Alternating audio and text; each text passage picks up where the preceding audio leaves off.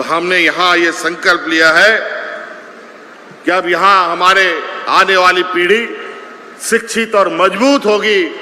इसके लिए model school, उत्कृष्ट विद्यालय, बेहतरीन कॉलेज, नए मेडिकल कॉलेज, इंजीनियरिंग कॉलेज स्थापित करने की कार्य योजना बनाई है। अभी तो आपके यही नवा डीसी जहाँ हम लोग ये कार्यक्रम कर रहे हैं इसी के बगल में। आप लोगों का आज एक डिग्री कॉलेज का शिलान्यास भी होना है, जो लगभग 25 करोड़ से अधिक का बनेगा, जो हमारे आदरणीय जगन्नाथ मातो जी का सपना था। हम आज उसका नींव रखने यहाँ आए हैं। और बोकारो जिला शुरू से ही शिक्षा के क्षेत्र में अग्रणी जिला रहा है। आज धीरे धीरे उन सब में परिवर्तन भी कर रहे हैं। अभी आपके गोमिया में भी एक डिग्री कॉलेज बनकर तैयार हो चुका है। अब उसमें पढ़ाई लिखाई करना है। आज उस गोमिया का डिग्री कॉलेज का भी आज यहीं से उद्घाटन हो रहा है। एक डिग्री कॉलेज उद्घाटन हो रहा है, दूसरा डिग्री कॉलेज का शिलान्यास हो रहा है। कई ऐसी चीज़ें नावाडी में कई सारी योजना आज यहाँ से शिलान्यास उद्घाटन हो रहे हैं। आपको मन से बताया गया है बगल में कई शिलापट पट भी आपको दिखाया गया है। बहुत जल्द वो सब शिलापट अपने अपने जगहों पर अपना काम जहाँ शुरू होना है, वहाँ लग जाएगा। और जहाँ उद्घाटन होना है वहाँ लग जाएगा।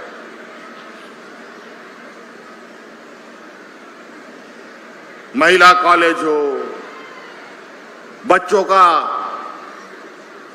पहली क्लास से लेकर के डिग्री तक का व्यवस्था हम लोग कर रहे हैं।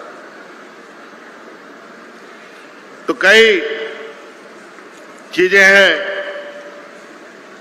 आज यहाँ पर लगभग दस हज़ार लोग यहाँ उपस्थित हैं, जिनको आज सरकार के द्वारा विभिन्न योजनाओं से जोड़ा जाएगा। कुछ महिला दीदी लोग यहाँ आकर के अपनी बातों को रखा, कुछ नौजवान भी यहाँ आके अपनी बातों को रखा, सुनकर मुझे बहुत खुशी हुई। कम से कम आप लोग सरकार जो योजना बनाती है, वो आपके लिए योजना बनाई है। आप हाथ दीजिए, सरकार आपको दोनों हाथ से पकड़कर अपने पैरों पर खड़ा होने का रास्ता दिखाएगी।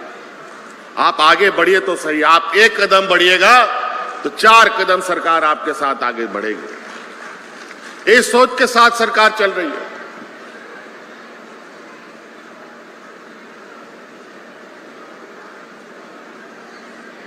आज दस हज़ार महिलाओं के बीच में लगभग छप्पन करोड़ रुपया का परिसंपत्ति बटना है। किसी को स्कॉर्पियो बटना है, किसी को टेंपू बटना है, किसी को ट्रैक्टर बटना है।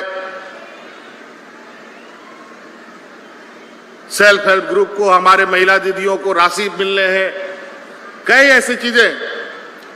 आज सरकार गाँव के लिए, शहर के लिए छोटे छोटे कस्बे के लिए कई योजनाएँ चला रही है।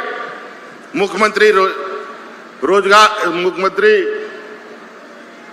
रोज़गार योजना के माध्यम से स्वरोजगार आप खड़ा कर सकते हैं। पचास हज़ार से लेकर के पच्चीस लाख रुपए तक का आपको सरकार लोन दे रही है। आप अपना कार्य योजना बनाइए उस हिसाब से सरकार आपको लोन देती है। आज इस बच्चे ने स्कॉर्पियो लिया है। आज बाज़ार में 12 लाख 13 लाख रुपया दाम है स्कॉर्पियो का। पता नहीं, इससे भी अधिक ही होगा। आज उस बच्चे को मात्र एक लाख रुपए लगा होगा। आज उसका अगर वो ड्राइवर के रूप में किसी का गाड़ी चलाता था तो आज अपना गाड़ी का मालिक बन करके उसको चलाएगा और कमाएगा परिवार का पेट पालेगा। आप में हुनर है तो किसी के पास नौकर क्यों आप मालिक बन करके काम करें, सरकार की ये सोच। आप राशन दुकान खोलना चाहते हैं, राशन दुकान के लिए सरकार मदद करती है।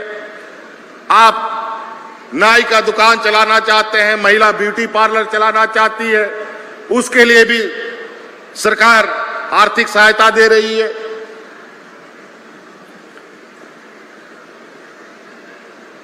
जूता, चप्पल, कपड़े का दुकान होटल, रेस्टोरेंट और आजकल गाँव देहात में टेंट हाउस का काम बड़ी जोरों से चलता है। टेंट हाउस का काम करना चाहते हैं। उसके लिए सरकार राशि दे रही है। आज से 20-25 साल पीछे मुड़ के देखिए तो याद कीजिएगा उस समय गाँव देहात में कितना गाय गुरु, बकरी, मुर्गी हुआ करता था। लेकिन आज के दिन में गाय गुरु, बकरी मिलता कहाँ है? सब का जगह मशीन ले लिया है, बैल का जगह ट्रैक्टर ले लिया है, भैंस का जगह ट्रैक्टर ले लिया है। तो कहाँ से गाय बकरी सब रहेगा? और उसी में सब बड़ा बड़ा व्यापारी लोग अपना व्यापार करके पॉकेट भरने का काम कर रहे हैं। और हमारे पूर्वज लोग अपना पशुधन हमेशा बचा के रखता था। और जिस घर में गाय हो, बकरी हो, मुर्गी हो,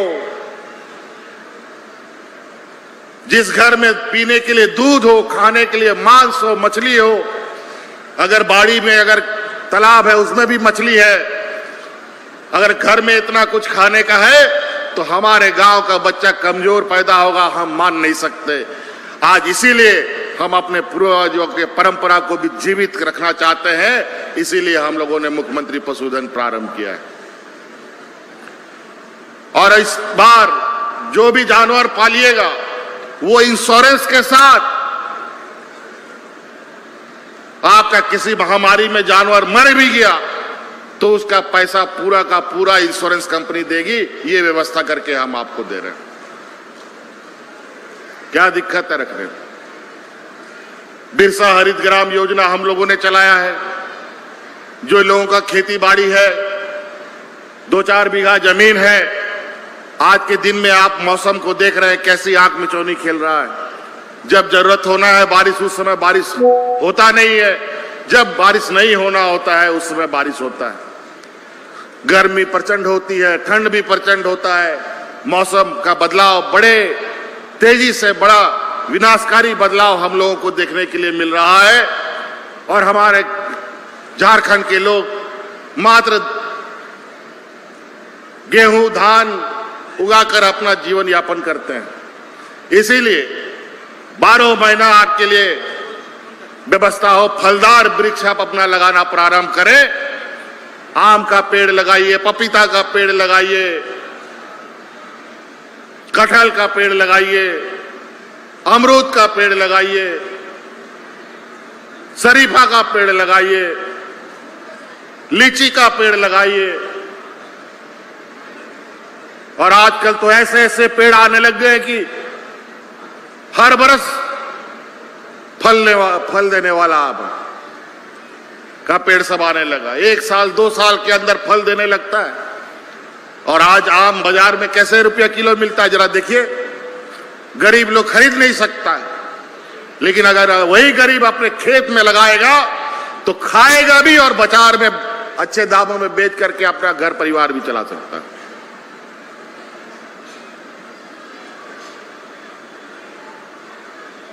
तो इस तरीके से हमारे बूढ़े बुज़ुर्ग लोगों को तो सब लोग पेंशन हमने दे ही दिया। सर्वजन पेंशन से सारे बुज़ुर्ग पहले गाँव देहात में एक दो लोगों को पेंशन मिलता था, साठ बरस से अधिक लोगों को।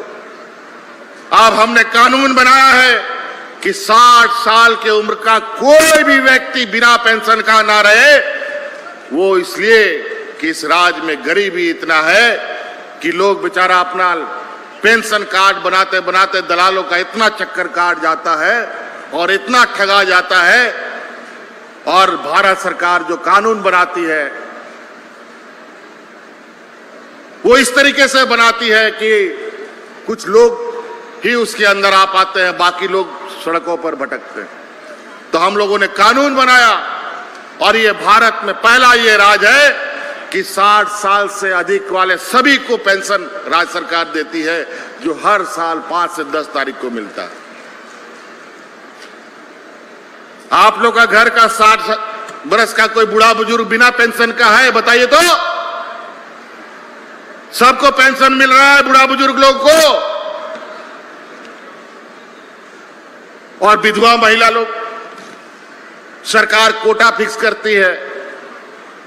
और बोलता है 40 साल की उम्र के अधिक वाले को ही हम पेंशन देंगे, विधवा पेंशन।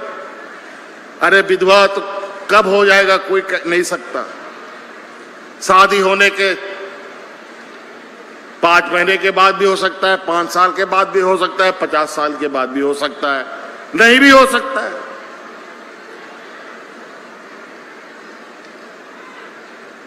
आज हमने वो सारी सीमाएँ छोड़कर जिस दिन से कोई विधवा हो जाएँगी, उसी दिन से उसको पेंशन मिलेगा।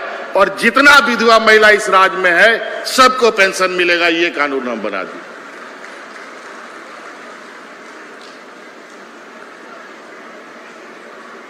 तो इस तरीके से कई चीज़ें अभी गाँव वालों को 100 यूनिट बिजली भी हम मुफ़्त दे रहे अब आपके माथे पर पड़ा क्या? आप बढ़िया से मेहनत कीजिए काम कीजिए और कमाइए खाइए। बच्चों का भविष्य बनाइए।